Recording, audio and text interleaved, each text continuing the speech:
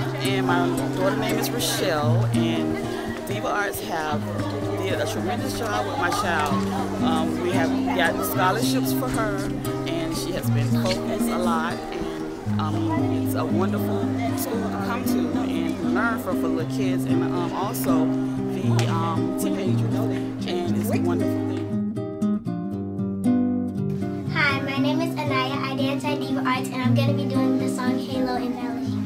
Hi, my name is Janijah. I will be doing a hip hop um, dance called My name is Jayla. I dance at Diva Arts Dance Company, and I will be doing a piece called Beyonce Experience in the style jazz. Hi, my name is Talia. I dance at Diva Arts Dance Studio, and I'm going to be performing the dance The Light Never Fails.